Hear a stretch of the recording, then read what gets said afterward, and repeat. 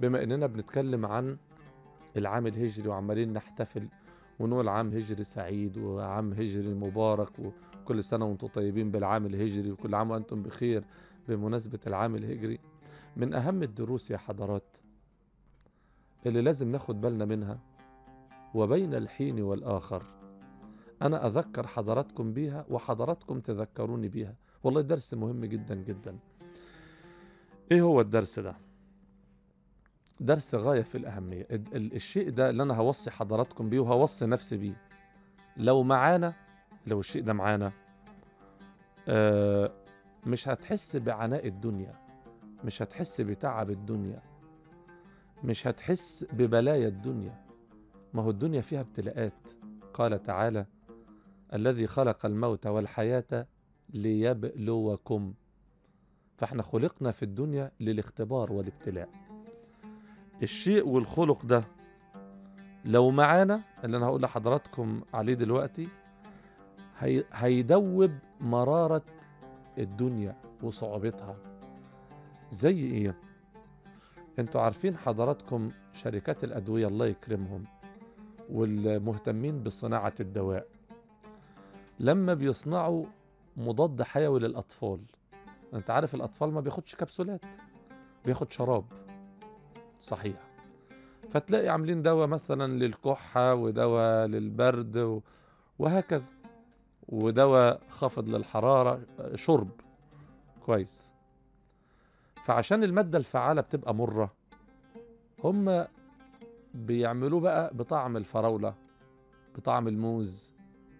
مش كده ولا إيه؟ بطعم اليوستفندي بالنسبة للأطفال فنيجي ندي الولد الشراب الدواء وهو صغير كده نقول له ده مسكر طب دوقه. دوقه بس. فيدوق يلاقي الدواء حلوة مسكر. هو في الواقع ما كانش مسكر أصلا. إيه اللي حصل؟ إن إحنا حطينا عليه حاجة دوبت مرارة المادة الفعالة اللي هي لعلاج بقى البرد أو لعلاج الكحة أو لعلاج آه، آه، لخفض الحرارة وخلافه يعني.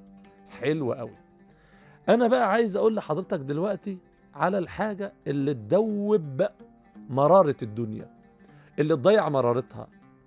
اللي تخلي مهما كانت الدنيا فيها محن أو شدائد أو ابتلاءات م- تخليك تتقبلها وأنت عادي طبيعي بالنسبة لك. أدي كمان مثال وأقول لحضراتكم الشيء ده اللي هو من أهم دروس الهجرة النبوية المباركة.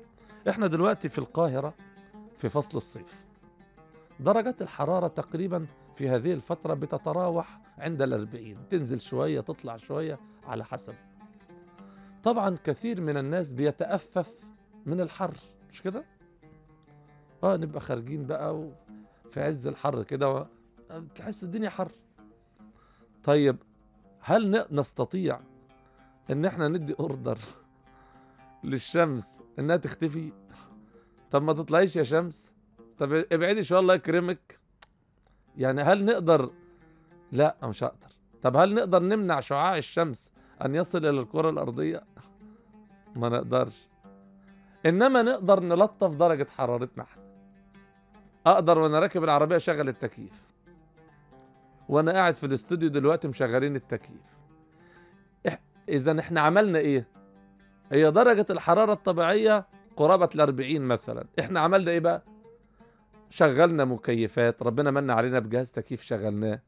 ربنا من علينا بمروحة تجيب لنا شوية هواء فقدرنا نتكيف مع المناخ اللي إحنا عايشين فيه.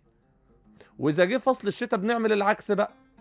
آه ربنا يمن علينا بدفاية يمن علينا ببلوفر كويس بجاكيت تقيل نلبسه ونقدر نتعامل.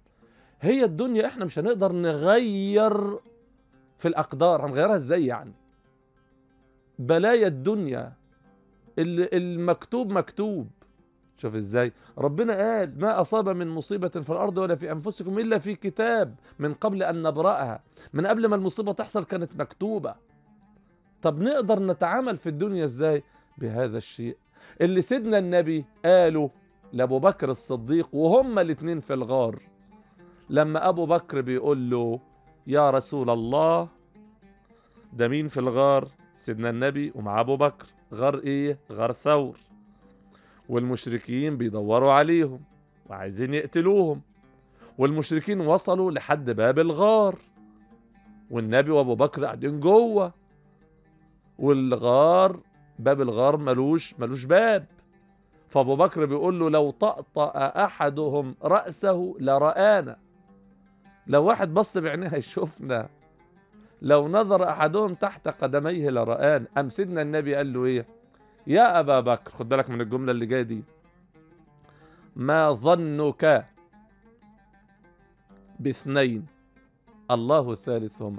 ما ظنك يعني إيه؟ يعني إيه ظنك؟ يعني يقينك. ما هو الظن ممكن يجي بمعنى اليقين يا حضرات. زي القرآن ما بيقول كده وإحنا بنقرأ سورة الكهف النهارده يوم الجمعة ورأى المجرمون النار. مش أنت بتقرأ الآية دي في سورة الكهف؟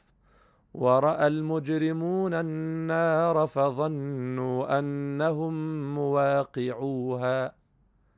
يعني المجرمون يوم القيامة لما رأوا النار ظنوا أنهم مواقعوها يعني تيقنوا أنهم داخلين. فالنبي بيقول لأبو بكر إيه يقينك يا أبو بكر؟ إذا كان في اتنين ربنا هو تالتهم. شوفوا يا حضرات فاليقين يقينك بالله هو اللي هينجيك. إيه يقينك في ربنا؟ يعني إيه ظنك بربنا؟ يعني إيه ثقتك في ربنا؟ ثقتك في ربنا إنه يغفر لك يبقى هيغفر لك. ثقتك في ربنا إنه هيبعت لك مصروفات ولادك عشان الشهر الجاي رايحين المدارس يبقى هيبعت لك. ثقتك في ربنا إنه هيسترك يبقى هيسترك أنا ثقتي في ربنا إنه هيرزقني يبقى هيرزقني ثقتك في ربنا إنه هيرحمك يبقى هيرحمك. ثقتك في ربنا إنه لن يتخلى عنك يبقى مش هيتركك. ثقتك في ربنا إنه هينصرك يبقى هينصرك آه والله. ثقتك في ربنا إنه هيجيب لك حقك من اللي اتكلموا عنك امبارح يبقى هيجيب لك حقك مفيهاش نقاش. ده موضوع خلاص ده موضوع منتهي. ده موضوع خلاص مفروغ منه. اللي هو ظنك بالله فما ظنكم برب العالمين.